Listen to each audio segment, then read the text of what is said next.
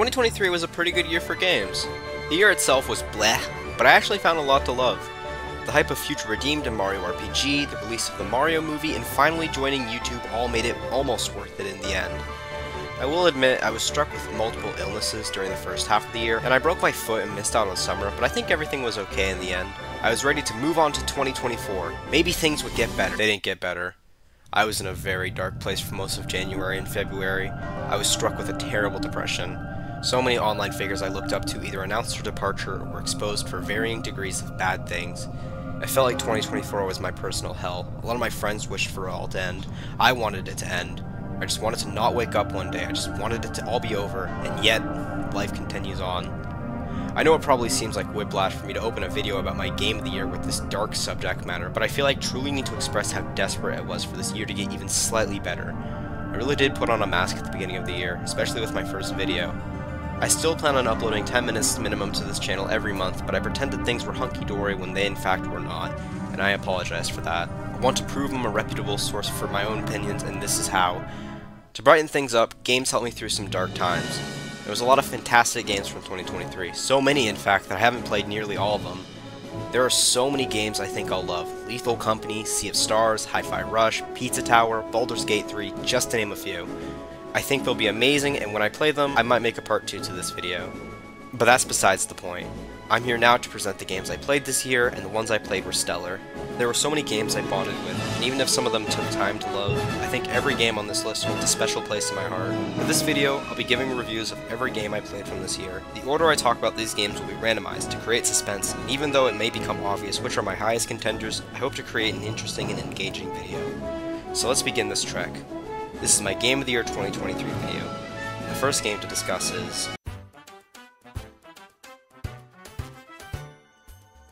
Let me ask you a question. What is the potential of 2D platformers?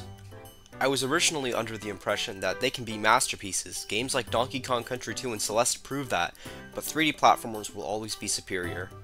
The movement and sandbox nature and scale of 3D platformers would always give them an advantage over left to right 2D platformers. Now, let me ask you another question. Why has the latest 2D Mario soared to the top of my favorite Mario games list, above both 3 and World, above the majority of RPGs, and even above a lot of the 3D Marios, including 64 and maybe even Galaxy? How could a simplistic left-to-right game beat out all-time masterpieces for me? Let's start with basic mechanics. Mario Wonder is a left-to-right platformer that innovates on everything I love about platformers. The controls are literally perfect. This is the best feeling 2D platformer I've ever played, only rivaled by the Donkey Kong games. The Mario gang feels so fluent and perfect and already make the game feel like bliss. Movement is only half the battle, however, as the level design is equally important. These levels are strikingly unique. Every level offers some new unique idea, with a level built around that idea. Pretty much every idea present is really fun, especially any gimmicks based around pulling things or bouncing on things. There's also essentially a tier system of circumstances that can change how you approach a level. At the bottom is power-ups. Usually a level will provide you with a power-up that best suits that level, but you can bring any power-up you wish. The power-ups available in this game are the Fire Flower, Elephant Shroom, Drill Shroom, and Bubble Flower. Each of these power-ups drastically change your movement, allowing for paths and options previously unavailable. You unfortunately lose your power-up if you get hit or die, so they're essentially a shield. This has been a staple of Mario games for years, and this is the most basic form of ability in this game. There's a considerably smaller pool of power-ups in this game compared to the other Mario games, however, and there's two reasons for this. The first reason is the incredible depth of the power-ups, and the second is the new badge system. Badges provide a new preset ability of your choice to you before you enter a stage. They act as a permanent movement buff in the level, though they aren't limited to movement. They feel like an idea lifted from other great 2D platformers and perfected here. Every single badge is enjoyable to use. Whether they give you a glide, give you an upwards wall bounce, or make you swim like a dolphin, these abilities completely transform how you play the game. And when in tandem with power-ups, can sometimes add so much movement freedom and depth that it challenges movement options in most 3D Marios. The highest and final tier is the new Wonder Flowers. These can completely transform a level, changing the gimmick, adding new level design to explore, or changing you in some way, usually giving you new movement. Wonder Flowers are this game's big new gimmick, and they're so unique and refreshing that I genuinely think they revolutionized 2D Mario. This feels like something that will be iterated on for years. The best part of it all is that the movement always suits the level. You can fly, glide, bounce, or slide through every level, leading to some of the most satisfying replayability. The collectibles add extra value to replaying levels. The purple tank coins give you a big bonus amount of purple coins to spend, and are usually in extra risky or challenging areas. The Wonder Seeds are this game's stars, and you can get them by completing a level or by completing a Wonder Flowers challenge. I will admit one tiny issue is that if you skip a level's Wonder Flower, the levels don't always have a ton extra to offer, but that's a really minuscule issue. Actually, I think I'll go over my other two issues right here. I don't like the invisible block plaza levels, though I appreciate the idea, and the non-Bowser Jr. bosses are kinda nothing. I also think Mario and Luigi's voices are only okay, the new voice actor is the definition of the bare minimum. No shade to the voice actor, I just don't feel his voice fits Mario too well. That's all my issues with this game, everything else is wonderful I guess. Every single level is a blast, every new Badger power-up adds so much depth. This is genuinely one of the most fun games I think I've ever played. There's never a non-plaza dull moment, and I genuinely think I'm going to replay this game a lot. Some other things I love are the music and visuals. The music didn't impress me at first, and to me this was the game's weakest aspect, but later on they introduced some absolutely amazing songs, some that genuinely shocked me in how great sounding they were. The visuals are really unique, and my god, they just look so good! The amount of playable characters is always great, though I never play a non-human character because I like having power-ups. The world maps are so wonderfully designed, and I love the explorable bits. The sounds are so satisfying, coins have a purpose other than lives, this is just such a good game. This is genuinely one of the best games I've ever played, and this is a contender for my favorite 2D platformer. At the time of writing, I haven't technically beaten the game, I just don't have enough time to, but I've done every world except for World 3. Oh, that reminds me, you can play the worlds out of order, and I did World 5 first and went backwards. Also, every world has like a cute mini story, and there's actually dialogue. This game's so good! Anyways, I genuinely love this game, and I'm excited to finish it. I hope that it keeps amazing me, and I'm excited to talk about it more.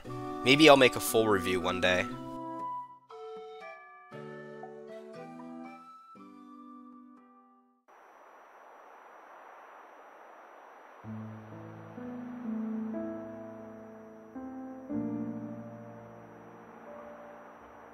Future Redeemed, my sweet, beautiful child. Xenoblade is my most favoriteest thing in the whole damn world, and this game is just so amazing. It has incredibly fun combat, amazing exploration, a great story that I may or may not have bawled my eyes out to at the end, and phenomenal music. The problem is that I already made a video talking about a ton of my feelings on the game, so there's not much left to say here. If you want the TLDR, I love it, but it's too short. I have a few other minor gripes, but my main issue is that I want more of these characters. However, I won't let that take away from how utterly amazing this game is. Go play it for the love of God, and if you want to watch my best video, watch my future redeemed video.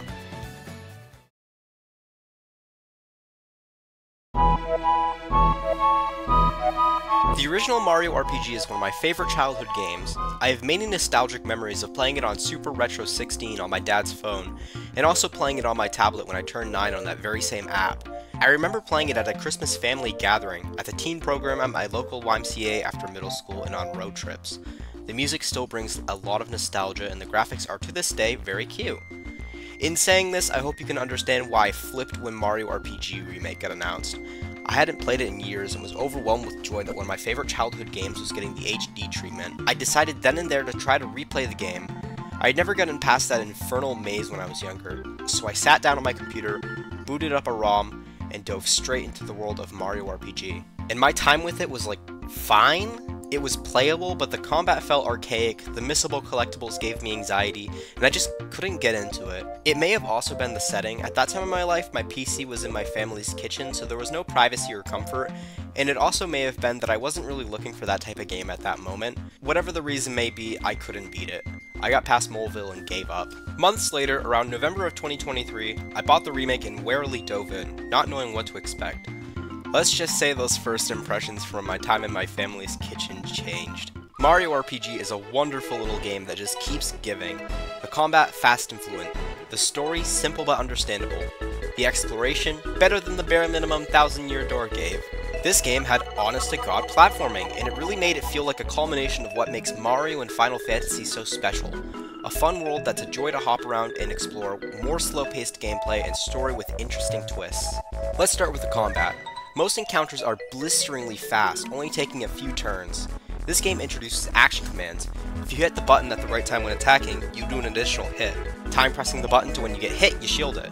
Do a quick minigame when using a special, deal more damage. I will admit most special attacks reuse the same action commands from other specials, but it still adds an extra bit of linking the player to the character, putting in a fun Mario twist that would evolve on and get improved on for years to come in subsequent games. This remake fixes one of my biggest gripes with the original, making it clear what timing should be for attacks. There wasn't a very clear indicator in the SNES version for some attacks, but here you get an indication telling you when to press the button. Once you get the hang of it, the indicator backs off. There are lots of small tweaks to combat, but the last big thing this game added is a meter that fills up for every subsequent successful action command. You get a chain mechanic where doing action commands fills it up more and more, adding great flow to battle. Once you fill it up, you unleash a unique triple attack, combining all your current party members into a beautiful cinematic attack that either deals big damage or gives big buffs. This all sounds great, but there are two big issues with the combat. For one, this game is far too easy, most enemies die quickly and you're showered with help from the game. The only time I remotely struggled in the main story was the ghost ship, but even then it was barely a big deal and I still briskly got through it. The second big issue is that most Mario RPGs after this game improve on this formula of combat by a lot. Don't get me wrong, this game game's combat has aged pretty well, in this version at least, but subsequent games have done a lot more with the combat. TTYD has some of the best combat in any RPG ever, and while I haven't played the Mario and Luigi games, they seem to have very fast and fluent combat. It all comes to make this game look a little basic. But when looking at this game independently, it's a great combat system. The combat system especially shines in the super bosses. The dojo was a very fun challenge to get through my first time, and I absolutely adore the new super bosses. Oh, big spoiler warning, skip to here to not see this. I kinda thought the Punchinello rematch was a little too obscure to figure out you need to punch the bombs to reverse them, and Jonathan Jones just dragged on forever and ever, but they were mostly all great. I haven't beat Culex 3D yet, but wow is this fight really cool and unexpected, and my attempts so far have been really fun. This remake needed super bosses, and they're all mostly great. My last gripe with the combat is the 100 super jump challenge. I was originally going for 100%, and I've done pretty much everything. I found every secret chest, aced every minigame, beat almost every super boss, and I've even played 50 godforsaken, painforsakingly slow rounds of that stupid, dumb memory game. I have short-term memory and had to take a picture of every card layout, so here's every single picture I took. It was like two hours straight and it was garbage. The thing that's really stopped me is the 100 super jump challenge, however. I might do it one day, but I don't feel I have the right motor skills to be able to do it. I can't find a timing, a rhythm, or any joy out of it. It's tedious and should have been made far easier or have just been removed from the game. Spending 6 hours grinding out one trick is not fun. Okay, now onto one of my favorite parts of RPGs, the exploration. This game is very fun to run through. You can find lots of secrets in the overworld, there's occasional platforming to spice things up, and the areas you go to are varied, and it's just overall a lot to enjoy. Some of my favorite levels are Land's End, it's so gigantic and feels like a real adventure, Booster's Tower for having a killer theme and a great sense of progression, and the first two levels just because I'm nostalgic. I also love all the towns. They're varied and have so much fun dialogue. It's also where they put most of the game's easter eggs and secrets, and also the best music. Any of these towns could be my favorite, honestly. They're all so excellent, and I'm excited to return to them on replays. My big check for if a Mario RPG succeeds at having the best of both worlds is if you could jump on the furniture in a house, and not only can you do that, you can find secrets and easter eggs. I really do feel like I'm playing a no bars Mario game, and even though later on platforming can get frustrating because of the camera angle, I vastly prefer having it over bland hallways or empty arenas. To help with the exploration is the music, and I think that the SNES version of Mario RPG has my favorite Mario SD. So many tracks go so hard, and the tracks just keep getting harder and harder and harder. The remake has brand new orchestral versions of the songs, and while they're pleasant, they don't hit as hard as the originals. The originals had this perfect vibe, and while the new ones are probably objectively better, I feel the original OST is more fun to listen to. I swap between the versions frequently when playing, though, mostly for variety. Music is reused a fair bit, but considering how big this game is, that's understandable. The last thing to talk about is the story, and it's alright. There's a great flow with lots of fun surprises, and the writing is pretty good and made me laugh a good amount, and the characters are solid. Mario, Peach, and Bowser are their usual enjoyable characters. Geno and Mallow, however, look incredibly unique and are also great characters. Mallow is a young boy who's very emotional and learns to control his emotions. He has a good arc with a couple surprising twists that I won't spoil here, but he's generally very likable. Geno is a straight man, and if Mallow looks weird for a Mario game, Geno looks alien. He fits in perfectly with the party, however, as the more serious, straight-to-business character. I will admit he's not as interesting story-wise as Mallow, but he's still an enjoyable presence, and works decently as the more wise prophecy character. Geno for Smash? Put Geno and Mallow in as a hybrid. I will admit the story itself is a little basic, but the events leading up to the finale were all fun, and even though there isn't anything here to challenge me or emotionally connect to me, it was still serviceable at worst, and the ending made me tear up. It's an overall solid story that, say it with me, has been improved on in most of the entries after this game. Some other thoughts on this game are that the visuals are great, they're very cute and perfectly translated the original vibes over. The cutscenes are stunning and are possibly the prettiest stuff on Switch. The controls feel nice and the 8-directional stuff never gets in the way. Grinding out frog coins in the post-game is really lame and there should have been better options. There should also just be better options for completionists in general. But overall, this game is a very fun romp, and even though most future Mario RPGs improve on this game, it's still a cult classic and is undeniably one of the Switch's best RPGs.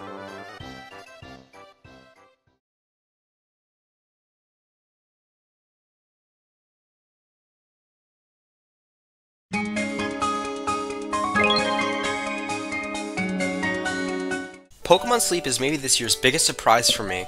What seemed like a cute idea for a mobile game that I'd forget in seconds turned out to be a useful tool in helping one of the most important aspects of my life, my sleep. The format for Pokemon Sleep is incredibly simple. You have a few Pokemon on the field and they collect candy and berries for you. You can cook meals for your Snorlax three times a day. When you fall asleep, the game tracks your sleep and then gives you a report in the morning of how well you slept, giving a graph and audio it picked up overnight. After that, certain Pokemon will have appeared on the field. You first take pictures of their different sleeping positions, then you can feed them biscuits to attempt to add them to your party. It's an incredibly charming concept, and I see this game as potentially the most beneficial game you could play that's on this list. I will admit I have some serious problems with dropping this game, but I definitely think that's a me thing. With a mobile game, you'd expect shitty phone game ads and microtransactions all over, but thankfully there's no ads and the microtransactions are handled graciously and are made apparent so younger players won't be spending 2,000 bucks on sleep points. I guess if I had one problem with this game, it's that a few cutscenes are a bit too long. Every time a Pokemon uses an ability, you get to see a cutscene of them using it, which gets very grating. There's also a lot of longer story segments in the game, which can get a bit tedious at 3 in the morning when I've finally taken my melatonin and I just want to go to bed. But despite that issue, I still play this game occasionally. I love the vibrations from your phone when you slide your finger across a ton of berries your Pokemon just found. I like the little tips the game gives you about your sleep when you cook. I like the art style and vibes. I like that this game wants to make a change and help people get better sleep schedules. I can see myself using this app for the rest of my life, so thank you Pokemon Sleep. Thank you for striving to make a difference in health across the world.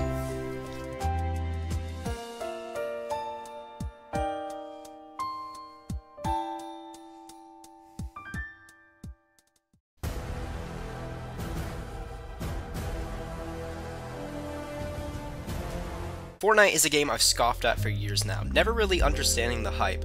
I think the real nail in the coffin was when back in 6th grade, my mortal enemy would constantly say that Fortnite was better than my beloved Banjo-Kazooie. And his reason? He said Banjo-Kazooie's graphics sucked. So I'm here now to say Fortnite on Switch looks worse than Banjo-Kazooie on CTR. I win, you lose, I have defeated you! Now that I've got that out of my system, Fortnite's fucking awesome. I know some of you may be confused why I'm covering it in a 2023 Game of the Year video if it was released in 2017, and that's because this year had a major update that brought in three new games. There was also a lot of new maps this year, and to be honest, I've been killing to talk about this game. The two maps I've got to play this year were the OG and the train map, and both have been a blast.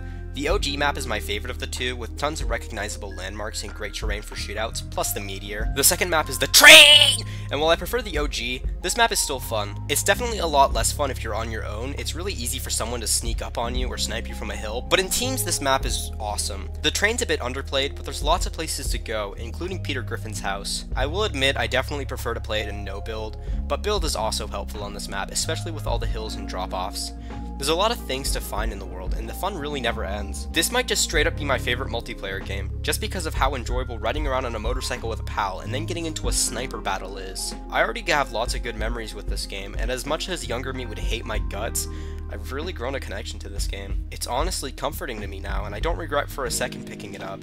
We're not done yet though, I have a few slight problems with the standard mode. As much as I love the scavenging system in this game, when you're constantly on the search for blue, purple, and golden weapons, it kinda sucks ass when you land and immediately get shot because someone got more lucky and found a gun first. I think like a minute grace period once you land would be nice, and would maybe make shitty instances like this happen a lot less. I should also mention the servers and optimization. It's impressive I can play with hundreds of people from across the world in one map, but this game can lag like crazy at the weirdest time, and I notice lag spikes will occasionally happen when I'm in mid-combat, which is not a good thing for a survival game. The areas also take an ungodly amount of time to load in textures and assets, giving Switch players an unfair disadvantage. I should also mention the terrible UI. This game was very intimidating when I first started playing, and part of it was how terrible navigating the menus was. They constantly greedily shove microtransactions in your face, asking for more money.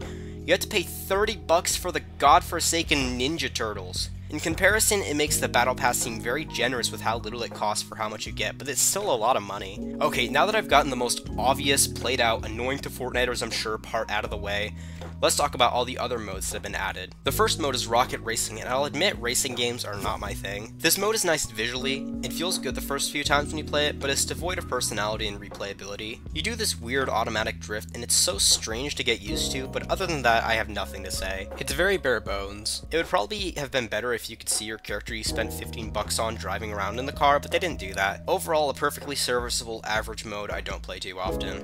4 out of 10. The next mode they added was Fortnite Festival, which is a Guitar Hero-esque rhythm game. The controls are pretty strange, and it's scummy how expensive the song can get, but this is in my opinion the most fun mode they added. I've played it a lot with one of my besties, and we really enjoy jamming out together a lot, watching our characters play their little hearts out. The rhythm game itself feels responsive and has fun high score mechanics, and the visuals are very nice. You also get to select one of four instruments, and they're all fun to use, even though they're similar. Despite how basic this mode is, the great memories and general quality carry this mode to a 6 out of 10. The final mode is the biggest one, the LEGO mode. I remember being psyched to see that during the event, and hopped into a friend's world.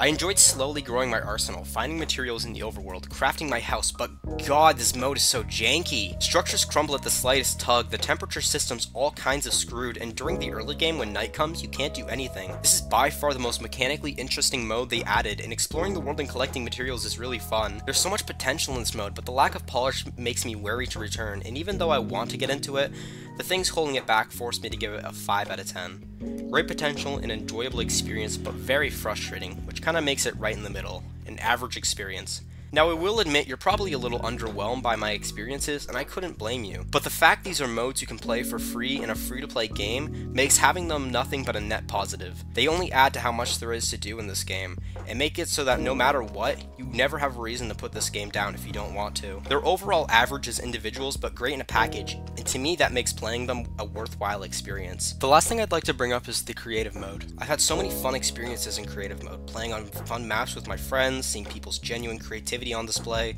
Those memories are irreplaceable. To me, this game is irreplaceable. Even though at the time of writing, I'm less interested in playing it nowadays, the time I had was great and I'd do it all again.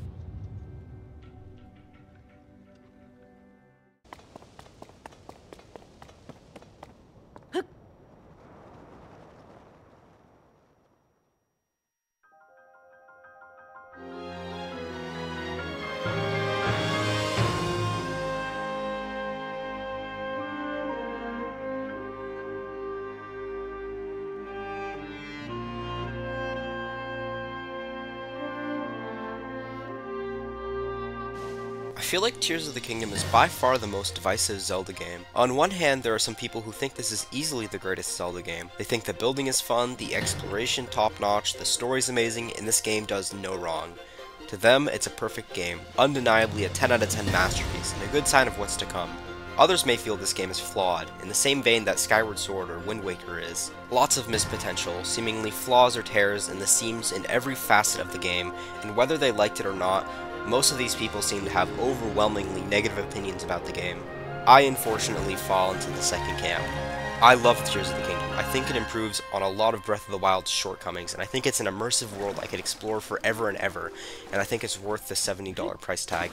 I also, however, think this is the weakest 3D Zelda. Granted, I haven't played Skyward Sword, and it's been a while since I played Wind Waker or Twilight Princess, but right now I can easily say I'd prefer to replay those games over this one. I barely see this as a bad thing, however this giant titan of a game is less good than that giant titan of a game is barely a critique, and I hope to show that despite Tears of the Kingdom's flaws, I do love this game. While I don't think doubling down on Breath of the Wild was the right choice, it wasn't a bad one. Here's the results from this experiment. Let's start with my favorite new thing about this game, the shrines. I'm not really a fan of their color palettes or how they work with the lore, or that it's way harder to tell if you've beaten art already just from a glance on the overworld, but the new building mechanics definitely make the shrines more interesting. I love the combat shrines that take away your equipment, I love the shrines where they have you transport a crystal, etc. I will admit there are a few too many shrines with one or two very simple puzzles, but the ones I enjoyed were great. I also love the exploration. I think that the reused map hurts me a little less than the average player, since I could explore Breath of the Wild's maps a hundred thousand times moreover, but I will admit I wasn't very surprised often by what I found. It was very similar to what I found in Breath of the Wild. However, the remixed regions were nice to see. I also love the new caves and wells. They help the world to feel even more intricate and fleshed out, and they were a good example of a time where Ascend was incredibly helpful. There's also two brand new layers to the map, the sky and the depths. While the sky is admittedly underwhelming, it's still a welcome addition. I enjoyed most of the puzzles and boss fights I found in the sky, and jumping down from high points into Hyrule was always amazing. In addition, they added the Adept in addition, they added the Depths, which is a pitch-black counterpart to Hyrule. You have to create your own way to see in the treacherous and dark abyss, and there's ways to permanently lose health until you find a big glowy flower or return to the surface. There's also tons of malice-infected enemies out for blood, along with new ones that only live underground, dropping valuable resources upon being killed. Scurrying around the depths is thrilling, and finding ancient ruins or giant monsters is always exciting. It makes up for the fact that the terrain underground isn't all that interesting. It's also the place where the new build feature can shine the brightest literally. I'm going to be entirely honest about the building, this was the new feature that excited me the least. I want to keep the positivity train going though, so I'll say the things I like first. I think building is perfect for shrines, the limited materials you have forcing you to solve a puzzle works perfectly for Zelda, and while the builds can take a bit too long to create sometimes, they allow for unlimited creativity and make different solutions abundant. I also really love the fact that you can glide around on a glider. It's helpful in the depths or on the surface, but it really blows me away in the sky when I can soar over the land below me. It truly is a spectacle, and despite the pretty stupid limitations of the gliders, they're incredibly helpful and make traversing fun. And last but not least, sometimes I like building. It's cool that I can build a car to get over a field, or that I can make a flying machine to skip sections. It's all insanely unique, and seeing the mind-blowing creations of other people online is always a good time. Despite all of this, the building just isn't for me. It takes way too long, is very janky, and really slows the pace of the game down. Most creations I make seem to barely ever work, and the terrain of Hyrule isn't really fit for the things with wheels. When the opportunity is given, I'll usually take a horse or speed elixir over a car. I'm also very mixed on fusing. On one hand, it allows for many unique weapons, all that can be used efficiently if you're creative. On the other hand, fusing kinda sucks. Normal weapons on the surface are all rusted now, which means they last 5 seconds and deal like 2 damage. This heavily encourages fusing, but to fuse you have to slowly open the menu, take out the thing you want to fuse, which will usually just be a random high damage monster part, and then slowly individually fuse the parts to each weapon. The weapons still don't last very long, however, and there's no easy way to get good weapons. In order to get the best optimal weapon in Tears of the Kingdom, you need to Find a rusted weapon, usually at a monster camp. Fuse a monster part to that weapon. Break it. Go into the depths. Find a soldier holding a fixed version of that weapon. Fuse another strong part to it. All for one weapon that will break inevitably. In Breath of the Wild, if you want to get a good weapon, you have to go to a monster camp and pick up a good weapon. I valued a lot of my weapons in Breath of the Wild. In this game, I'll just waste my weapons. Fuck it, they're gonna break anyways. It's a cool idea that just doesn't pan out.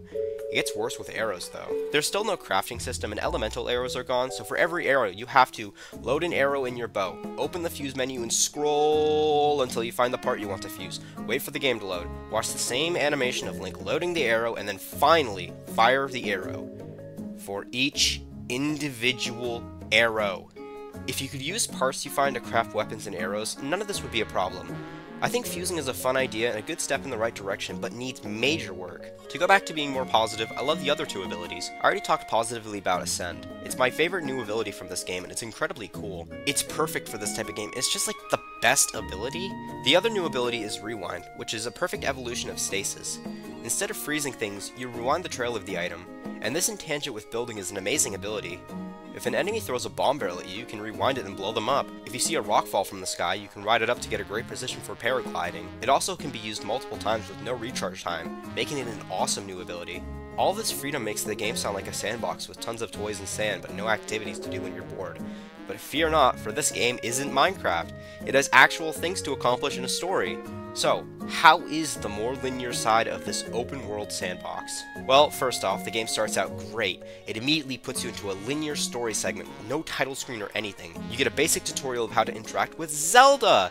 You get to learn about the Zonai. I'll be honest, I don't give a darn about the Zonai. They're a pretty boring Sheikah replacement in my opinion, but the opening did a great job of tricking me into thinking they'd be cool. But suddenly, wha-bam! Ganon's back! back. And wha-bam! Zelda's gone! And wha-bam! Link's arm and the Master Sword are busted! This is a great intro to a fairly disappointing tutorial area. I really did not vibe with the Sky Islands. They were far too linear, didn't offer up much variety, and was way too reminiscent of the Great Plateau. A much superior tutorial in my opinion. It was still very intriguing though, and even though the annoying trumpet background music really did get on my nerves, the great visuals mixed with the fun puzzles kept me going. After you dive down to the ground, you do some fairly linear and uninteresting back and forth talking, get bored, and run off to explore. After exploring for a bit, you eventually find your first dungeon. Dungeons in this game are no longer divine bread. Dungeon, dungeons in this game are no longer divine beasts, and they have their own unique themes and look visually distinct and stunning. They also have banger music, helping them be more memorable. The lead-ups to dungeons are spectacular typically, maybe the best parts of the entire game, and the bosses usually slap, despite them being way too easy. This leaves only the dungeons themselves being unpraised, and to be honest, they're just as bland gameplay-wise as the Breath of the Wild dungeons. The puzzles are usually cute, but there are no more impressive than shrine puzzles. The dungeons are also really easy to break, and desperately needed more linearity. I will admit, I had a lot of fun in the Lightning Dungeon, it was my favorite dungeon in the game, and I really enjoyed the thematically coherent puzzles and the phenomenal lead-up, but the rest of them were eh. Zora's Domain definitely has it the worst, having an extremely boring build-up, an okay lead-up, and a dungeon so forgettable that I don't even remember if I liked it or not. I remember the puzzles, but I forgot my emotions when playing them. Warning! More heavy spoilers ahead. There will be no story spoilers, but I will be talking about the dungeon rewards and the story. Skip to the time on screen to avoid spoilers. The rewards you get for beating dungeons are the sages, which is this game's items. After skipping through the repeated old sage explaining cutscenes, you get to use the sage's abilities to help you deal with things. They're all cool abilities that are helpful for different situations, especially Tulin, but they're all implemented very clunkily. You have to press A when you're near a sage to use their ability, but you use A for a lot of different things, and when you have multiple of them out, oh, it's a disaster. I love that they make the world feel less lonely since they explore with you, but they do not work in this form and are maybe the most unpolished aspects of this game. I do not like the story. I'll say it. This is my least favorite Zelda story by a bit. There's three major problems in the story in this game. One, for whatever god-forsaken reason, you see the memories out of order still. Two, the Zonai, in my opinion, are very uninteresting and make the lore really messy. Three, most interesting things people theorized about in Breath of the Wild are explained here and turn out to be very uninteresting explanations. I do have one big personal gripe with this game's story, however, and that's the fact that the Divine Beasts, the Towers, the Shrines, the Sheikah Slate, and the Guardians are all gone without an explanation. Sure, you can find references to them, but there's no reason for them to have just up and vanished. I was theorizing like crazy why they were gone and why we didn't have the Sheikah Slate anymore, only for a friend to tell me they were removed with no in-game explanation. When I found this out, I was shook. I was genuinely disturbed such a ridiculous thing could make it into this game and I had to put the game down. Honestly, I haven't really been putting in much effort to avoid spoilers. I've already seen everything there is to story-wise, and I don't regret it. The story's just that uninteresting. I guess I should go over a few miscellaneous points now. I'm not really a fan of this game's side quests. There are a lot more fetch quests, and I haven't even dared to do the Fairy Fountain side quests yet. There are quite a few cool side quests, and I really love the new side adventures, but the mid was far more apparent this time. There's still not a ton of enemy variety, which can make the enemies get stale. I also like a lot of the new Korok challenges, but my god. Those transportation ones. I already hated the rock throwing Koroks from Breath of the Wild, but oh my god, these transportation ones are the worst. Overall, I truly love this game, and I'm still having a great time playing this game, despite its flaws. I genuinely love getting lost in this world and will continue to play it for as long as possible. The time clocked in doesn't lie, despite the gripes and disappointments, this is worthy of the 3D Zelda status.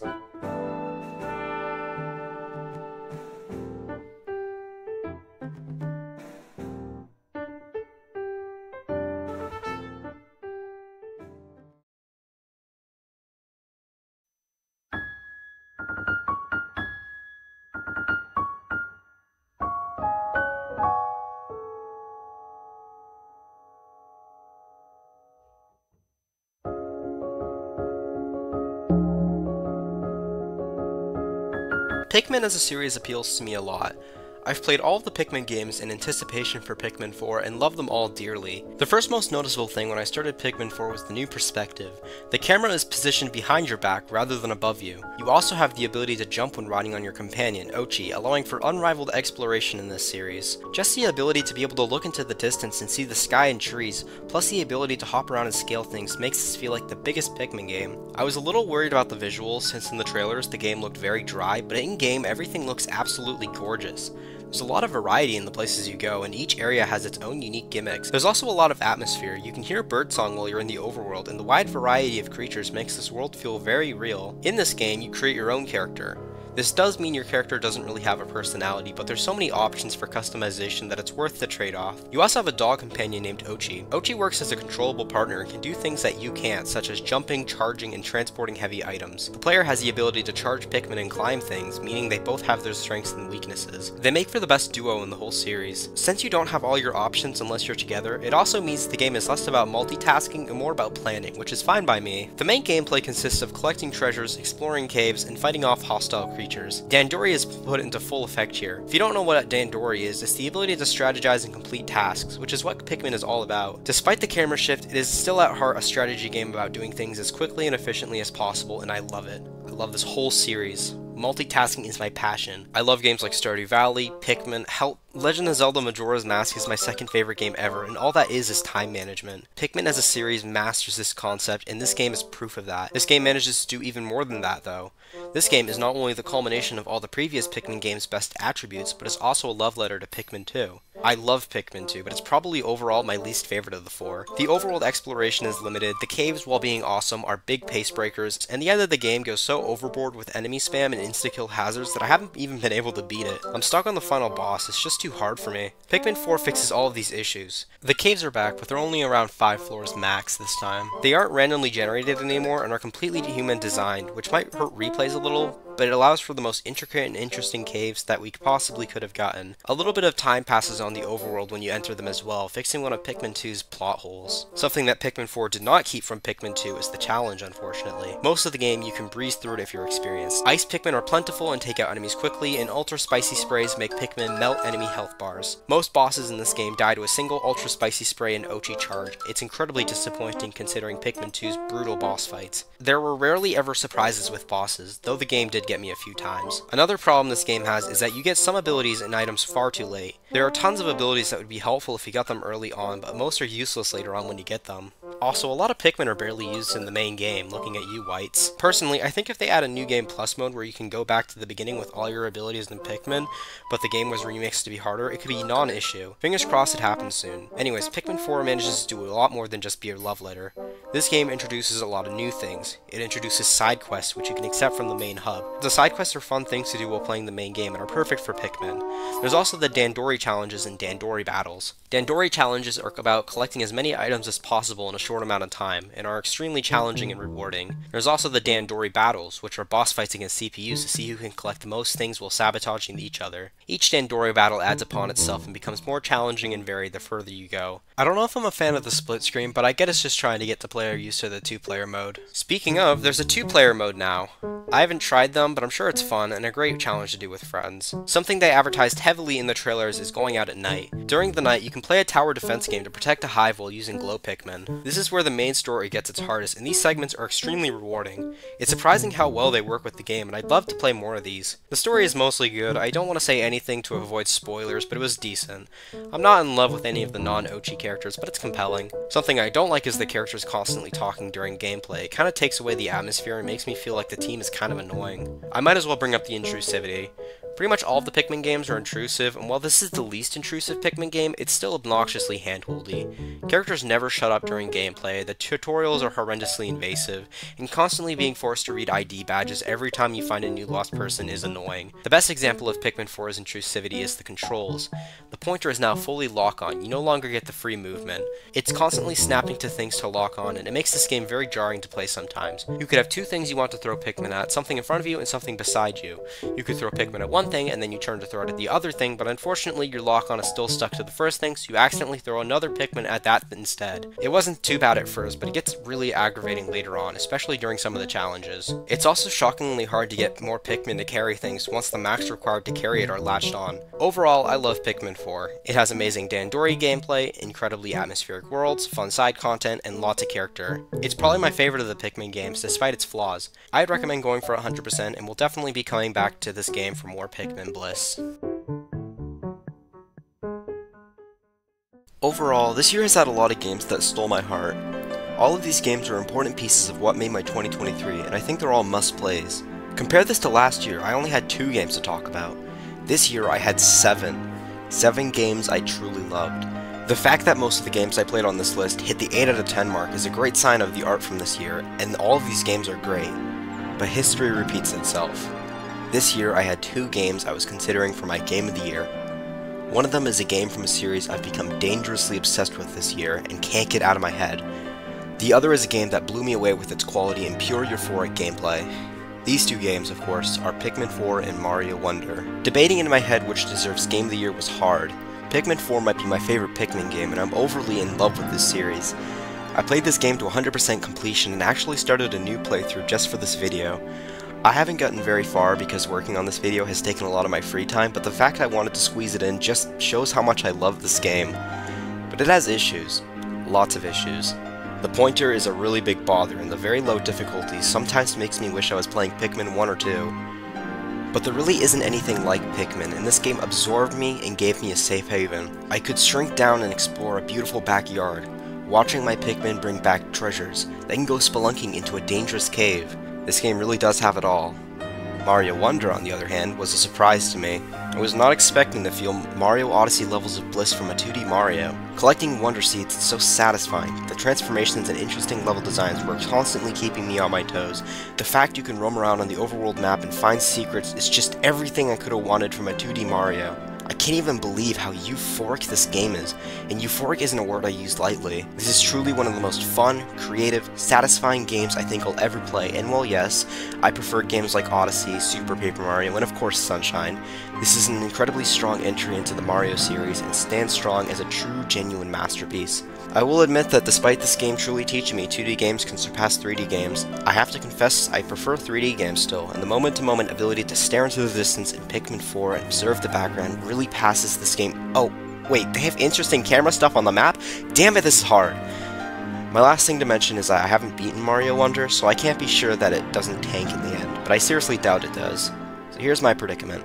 Pikmin 4 is an overwhelmingly charming, polished game that evolves one of my favorite game series, but is far too handholdy. The pointer controls, low difficulty, and constant interruptions and characters talking keep it from its full potential, but despite the immersion breaks, I still get sucked in every time I play. Mario Wonder is a blissful romp through the best levels in any 2D platformer, ripe with constant surprises, challenging platforming, and so many cute little details that make this game the whole package. I love almost everything about this game and it has no real holdbacks. It is a very safe option for my number one however, and I once again haven't beaten it. My head tells me Pikmin 4 is more unique and deserves the award, but my heart tells me I had more fun with Mario Wonder and that its relative lack of flaws and great flow make it deserve the award. Today, I choose to listen to my heart. My game of the year is Gollum. Nah, just kidding. I choose Mario Wonder as my game of the year. Wait, something's happening. I feel a strange feeling in me. H who are you? Hello there, Kazooie. I'm your anti-form. You're nobody. My name is Anti-Skull Kid. Wait, do you mean you're like an evil version of me that's going to challenge my perspectives and opinions? Every critic needs one. I've been degraded to cliches. No! And as for why I'm here, I couldn't help but eavesdrop on this charade. You really chose a basic 2D platformer with your cute little soulless mascot man over a game from a niche series made with love. You're barely a critic, your opinions are dog shit. It, it was a tough decision, I love both games. Yet you give such a basic game to your top spot. You haven't even played most of the beloved games from this year, these are barely impressive. I know these games aren't perfect. I know that other games may have been more revolutionary, but these are the ones I played. And even though they all have flaws or limitations, I enjoyed them all. Just because Pokemon Sleep is a mobile game, it doesn't mean it didn't impact me greatly in a positive way. Just because Future Redeem was short, it doesn't mean I didn't get a lot from it. Just because I don't play Fortnite as much anymore, it doesn't mean I don't cherish my memories from when I played it daily. Just because Tears of the Kingdom was flawed, it doesn't mean it wasn't a massive and highly respectable and impressive Zelda. Just because Mario RPG is basic compared to other games, it doesn't mean I can't love it just as much or more than what those games are for what it is. Just because Mario Wonder is an obvious choice for my game of the year, it doesn't mean that it doesn't deserve it. And just because Pikmin 4 didn't win, it doesn't mean that I don't love it as much as I do. Oh, really? A long, repetitive spiel? All you did was this the obvious. You barely even create original criticism. Listen, I may not be unique or popular or important, but the important thing is I try. I try every day to write my opinions down, to express them, so that people may latch onto them and relate to them. My job isn't to be perfect, my job is to try my best to make something that people can find. Even if one kid's day is improved by what I do, I've done my job. This is growing tiring. It's time to end this once and for all.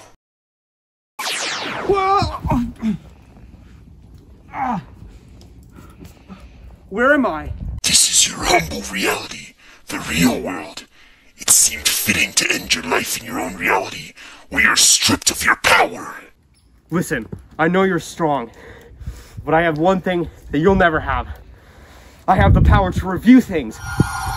Whoa! My critic sword. Prepare to be vanquished. You think that piece of junk can scratch me? I summon forth the demons of the games you've sought to praise. Fall to your own feelings. I'll use my critic power.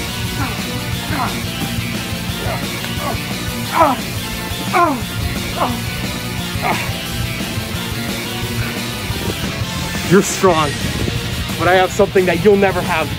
I respect people's opinions no matter what they are. Let's see if you can handle my conflict of your own fears.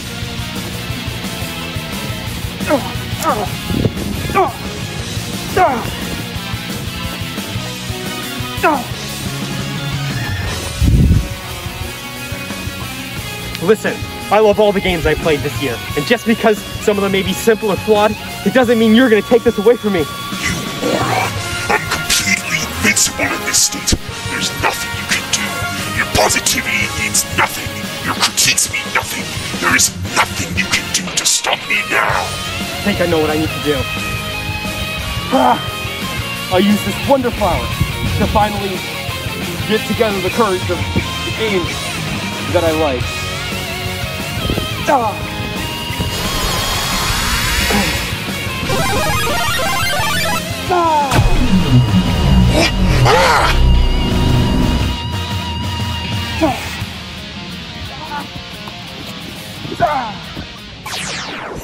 are you doing? Strike me down. Listen, just because I disagree with you, it doesn't mean I have the right to stop you. Your opinions are valid and you have the right to share them, but you need to find a manner that's respectful and you need to chill. There's no reason to scream or harass people or especially cause fandom wars. Just be mindful and find a productive way to express your thoughts. You definitely found a lot of things to critique about me. Eh? Just imagine how fun a video of you critiquing a game could be. You're so stupid. So incredibly stupid. I'll be back. I'll haunt you for the rest of your life. I'll continue to torture you. I'll be back. Wow, that was something. I kind of feel like they were right about a lot of things, but that doesn't matter. I want to continue working to create art that people can enjoy. This is year one of something that I want to continue for the near future. I love reviewing things, I always have, even since I was young. And now that I have the maturity and knowledge to express my thoughts, I want to continue. So, I just want to say to you, the viewer, thank you. Thank you for being here with me, thank you for letting me do this. Creating these silly videos has been an honor, and I want to do more things. In fact, if I play all those games I missed out on in 2023, I might make a sequel to this video, or a part 2. But until then, I'll continue working to make videos. I'll continue to play games, watch movies, and write reviews. My time here is running short, but I genuinely truly wish you a very lovely day. Before I finish off this video, I'd like to thank my grandmother for sitting through this entire video and watching a bunch of this. She doesn't give a darn about video games, but she still sat down and watched every segment after I was done, except for the final few, so thank you a lot for helping and encouraging me. It really did help. Anyways, to everyone, go have a great one, you deserve it, and see you in the next video.